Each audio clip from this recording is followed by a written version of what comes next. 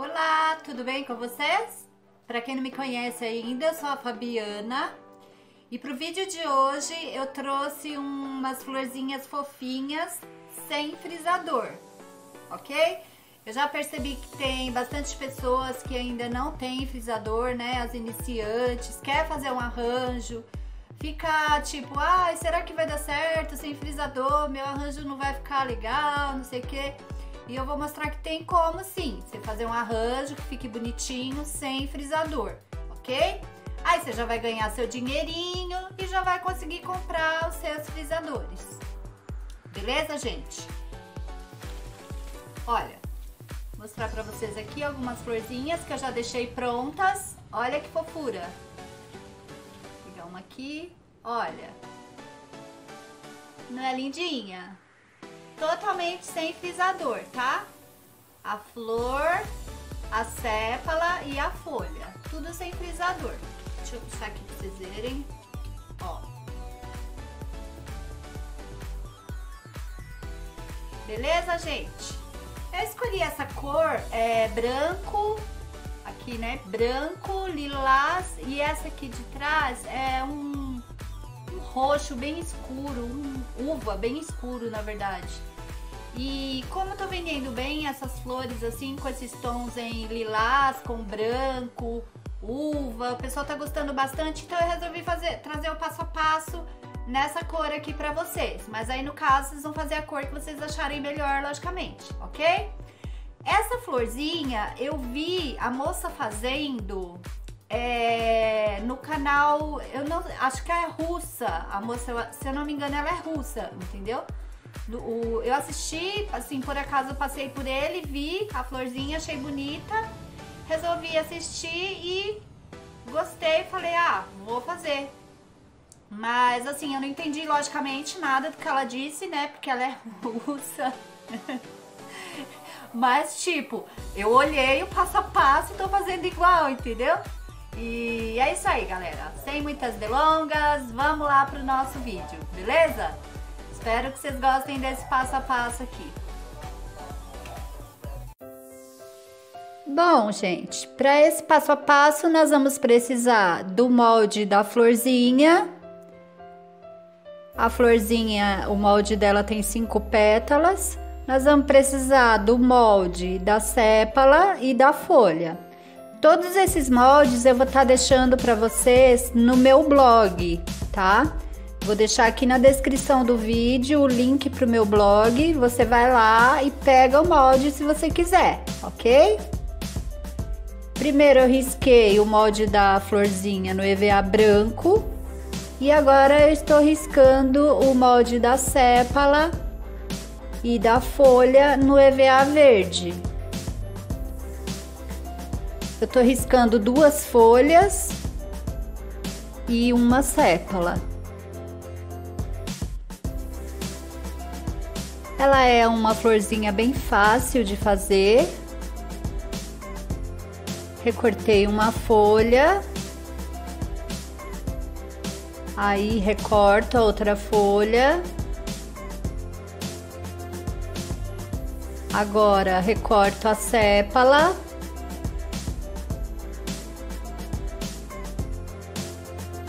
Mantém sempre a mão firme quando vocês forem cortar para o corte sair limpo, não ficar picotado o seu trabalho.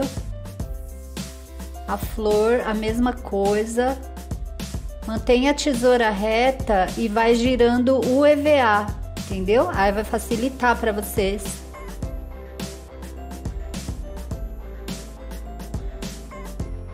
Depois que eu cortei o molde da folha, eu dou um cortezinho separando as pétalas até quase o centro e depois venho tirando as rebarbinhas das laterais das pétalas, dando uma arredondadinha para o acabamento da florzinha ficar bonito.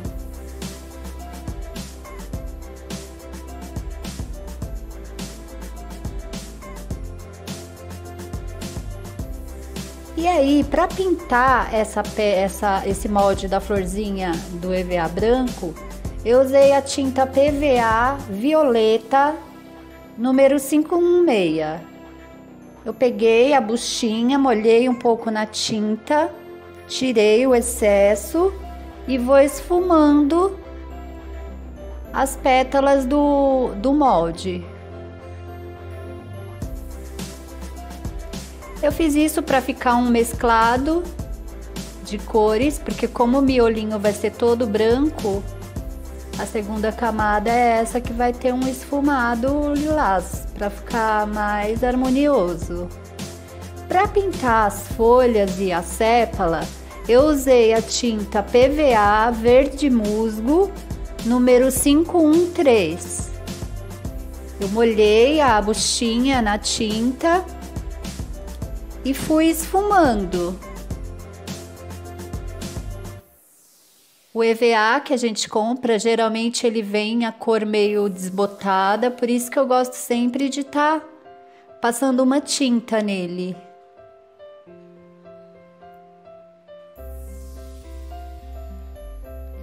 Para fazer essa flor, nós vamos precisar de um molde da florzinha todo branco, um molde da, flor, da florzinha que eu pintei, um lilás e um uva.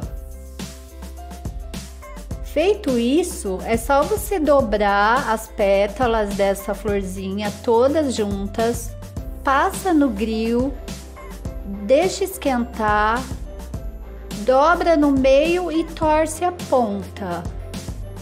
É bem simples de fazer, olha juntei as cinco pétalas, passei no grill, deixa esquentar bem as pontinhas, dobra as cinco ao meio e torce a ponta, segura até o EVA esfriar. Olha como fica fofo esse formato, gente. Olha lá, junta as quatro pétalas, juntei a última e vai passando no ferro de passar roupa ou no grill as pontinhas, deixa amolecer, dobra no meio e torce a ponta, as cinco pontas todas juntas. Esfriou, é só você abrir. Eu não testei, mas eu creio que com esse esse esse sistema de estar tá fazendo esse beliscão na ponta das pétalas, acho que dá até para formar rosas. Ficaria bonitinho uma rosa com esse formatinho na ponta da pétala. Fica muito fofinho. Depois disso, eu coloquei a sépala para esquentar no grill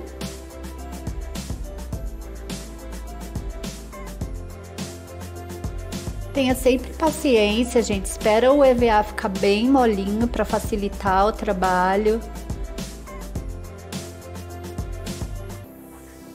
Olha lá, eu coloquei na palma da mão, enfiei o dedão no meio e torci as, os cinco dedinhos da sépala juntos.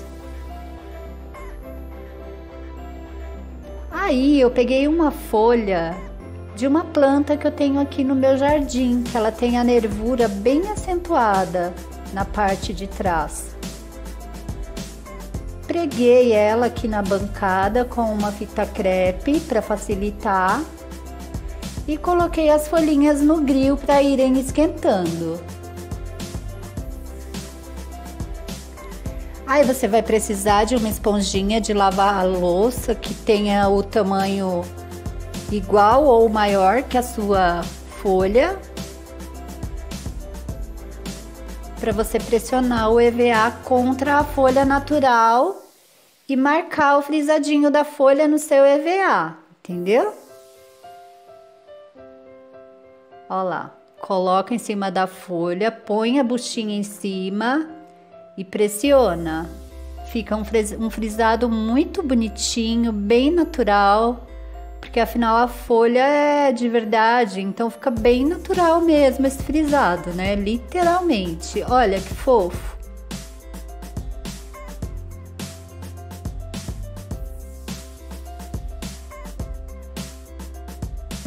Aí vocês vão precisar de arame encapado verde. eu peguei o arame, passei cola nele para estar tá colando atrás da folha. Eu sempre gosto de colocar arame atrás das folhas para dar uma sustentação legal nas folhas. Depois você, depois você pode dobrar a folha, deixar na posição que você quiser que ela vai ficar. E colei esse arame atrás das duas folhinhas.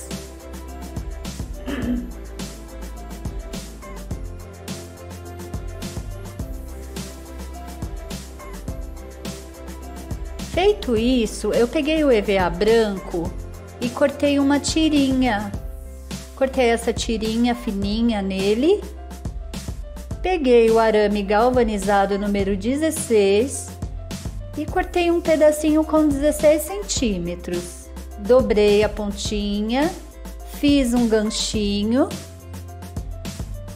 E aí vocês vão passar cola no, na tirinha do EVA branco para estar tá colando esse ganchinho do arame vai colando, passa cola, vai enrolando direitinho a tirinha e passa cola, enrola. É para estar tá dando uma sustentação legal na hora que você for montar o miolinho da flor. Eu sempre costumo fazer isso que eu acho mais prático. Pega a tesoura, dá uma cortadinha em cima, afunilando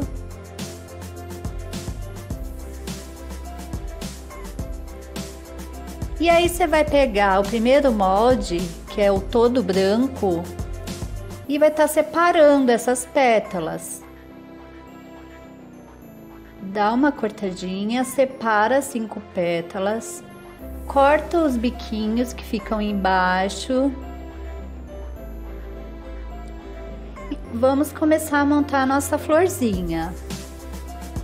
Passa cola embaixo da pétala e enrola nesse nosso tubinho de EVA. A primeira pétala eu fiz bem fechadinha para não aparecer o tubinho de EVA embaixo. A segunda pétala eu colei de frente para a primeira para ficar bem juntinha as duas e o miolinho da flor ficar bem fechadinho.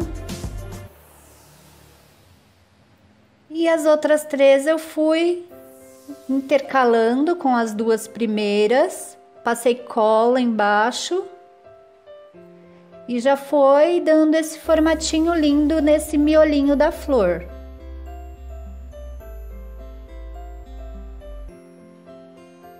Olha como fica uma gracinha. E aí o outro molde é o branco que eu passei a tinta violeta, passei cola embaixo e coloquei ele intercalando com o miolinho, com as pétalas do miolinho.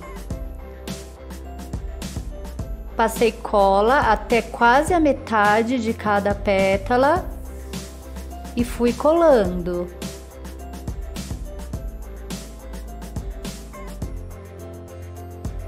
O terceiro molde é o lilás, passei cola embaixo, fiz a mesma coisa, intercalei. E aí dei só umas gotinhas de cola embaixo. Olha como já vai dando aquele formato fofo na florzinha. E por último é o molde na cor uva, é um uva bem escuro, quase roxo mesmo. Também dei um pinguinho de cola embaixo para estar tá fixando bem no molde de cima.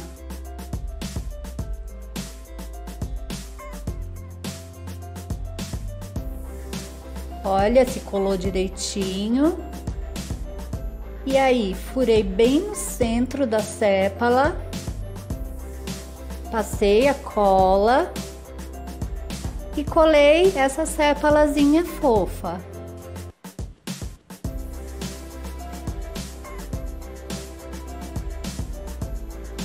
Feito isso, eu peguei a nossa fita floral e fui encapando o araminho bem rente com a sépala, para não aparecer o arame descoberto. E aí você vai colocar as suas folhas, estica bem a fita floral para ela ir liberando cola e vai prendendo o araminho das folhas com a fita. No final da, do araminho da folha, sempre dá uma dobradinha nesse araminho, passa a fita em cima para ficar bem presa a sua folhinha. E é só encapar até, até embaixo. A florzinha tá pronta. Ficou maravilhosa, muito charmosinha. E aí para montar o arranjo, vocês vão precisar. Eu fiz o meu arranjo com gesso. Se você quiser, pode fazer com argila. Eu prefiro gesso, já sou acostumada a trabalhar com ele. Deixei o pó do gesso no baldinho e fui acrescentando água e mexendo. A água você vai acrescentando bem aos poucos para não passar do ponto, para essa massa ficar com uma consistência mais dura. Olha, viu como ela fica? Consistência dela fica durinha, não fica aguado.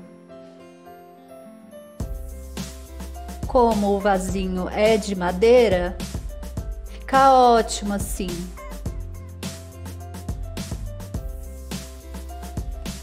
Feito isso, eu coloquei cola branca em cima do gesso e coloquei EVA verde picadinho em cima da cola.